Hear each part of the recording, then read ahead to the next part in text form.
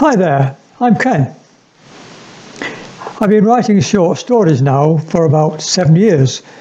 The first one I wrote was for my great granddaughter Ruby. Since then, I've written mm, 60, 70 stories, and uh, each of them have the name of the person all the way through the story. All these stories, or most of them, are on my YouTube video site, uh, Kenneth Mallison. That's this one here, Kenneth Mallison. If you're interested, you can look at those. This particular story is called uh, Ella and the Magic Paintbrush. It's not really my story, it's an adaptation of a story written a couple of thousand years ago in ancient China. The Chinese wrote lots of stories called fables, I suppose. Uh, and modern, most modern fairy stories are based on them. For example, Red Riding Hood is based on a Chinese fable about a panther, not a wolf, a panther. In that, I believe in that one, the panther ate everybody, but I'm not quite sure. But anyway, most stories are based on the fable. Mine is based on this Chinese fable called The Magic Paintbrush, and mine is called Ella and the Magic Paintbrush. So let's go ahead and I'll read it to you.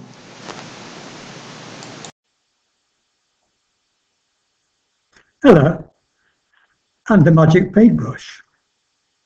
A story by Ken Mallison, really an adaptation of an old Chinese fairy story. Ella lived with her mother in one small bedroom in a very drab house in a very drab street in London. Ella's real name was Eliza, but everyone called her Ella except her mom. They were very poor and sometimes had nothing to eat. The room had little furniture, and Ella did not even have a bed. She had to sleep on a bed of straw. Because they were so poor, Ella could not go to school, so she found maths and English very difficult. However, like most children, Ella had a special talent. Her talent was drawing, and Ella was very good at this. Ella loved to draw, but she had no pencils or brushes to use. So she drew pictures in the dirt with a stick. Sometimes, when Ella went for a walk, she passed a house where she could see several boys sitting at easels and painting pictures. Once she looked into the room, but the man teaching them shouted at her, saying, Get away, you dirty girl. This is only for rich people. Ella was very upset and it made her cry as she ran home. When Ella got home, she was sitting outside her house drawing pictures in the dirt when a lady came up to her and said, That's a very good drawing you've done. Why don't you paint it on paper? Ella told her that she did not have any paper or brushes as they could not afford them. When she heard this, the lady took a paintbrush from her bag and gave it to Ella. She said, Here, take this. It is a magic paintbrush. When you paint something, it will become real. But you must only paint things you need, not what you want. Now, there are some things you cannot paint. Ella turned to ask the lady what she meant, but the lady had disappeared. Ella thought, that's stupid. But I do a paintbrush now. What I need is some paints and some paper. Ella used the brush to draw a box of paints in the dirt. And suddenly there it was, a real box of paints. She was amazed to see this and realized that it was the magic paintbrush. Ella thought, what I need now is some paper and she drew a large piece of paper in the dirt. Once again, the drawing turned into real paper. Ella was very excited and rushed in to tell her mother. She said, Mum, a lady gave me this paper and it's magic.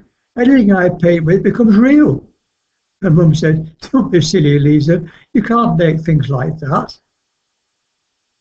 To show she was telling the truth, Ella painted a small bed on the piece of paper, and in a flash, a real bed stood where Ella's pile of straw had been. It was hard to believe, but her mother knew that Ella was telling the truth. Ella used the magic papers to paint some more furniture for the room. Then she tried to paint some money for her mother. But this time it didn't work. Then Ella remembered what the lady had said. There were some things which could not be made. Money was one of these. Ella didn't mind. At least they had a comfortable room.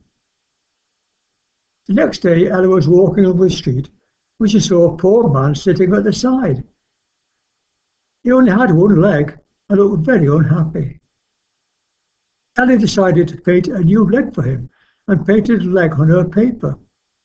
Once again, though, it did not work. So Ella realized she couldn't paint live things. Instead, she painted a false leg, and this time it worked.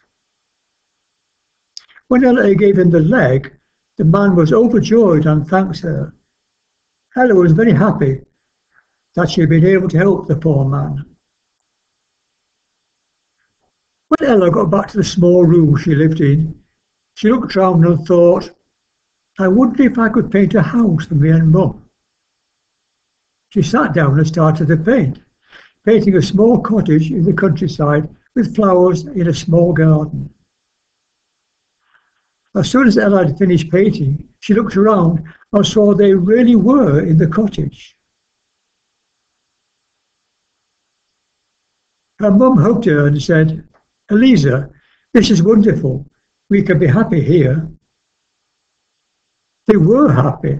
Her mum got a small job in a nearby farm and they had enough money for all their needs. If they needed anything else, Ella could paint it. Each day, Ella would go for a walk in the nearby fields and sit down to do some painting with real brushes, not the magic brush. One day she decided to try a magic brush again and paint a pretty rose, a rose bush, and a real rose bush appeared. A rich man was passing by on his horse and saw what Ella had done. He thought, that's magic. If she can paint a rose bush, she can paint money for me. I'll soon be the richest man in town. He grabbed Ella, threw her across his horse and galloped away to his home. When he reached his house, he ordered Ella to paint him a pot of gold. Ella refused, and he locked her in a room with only one window. The window had bars across it so she could not escape, and it was very cold. The man said, I will keep you here without food until you paint me some gold. When he went away, Ella was very hungry, so she painted a sandwich and a fire to keep her warm. Then she painted a new window and a rope ladder to climb down. Ella quickly escaped and ran home. Next morning, the man came to open the door, but Ella had painted a big bar across it so he could not get in. He banged, angry at the door, and then ran at the door to break it in. The door crashed open, and he saw that Ella had escaped. As he ran over to the window, he knocked over the fire. The building soon caught fire, and the house and the man were destroyed. When Ella got home, she thought about where she'd been taken to.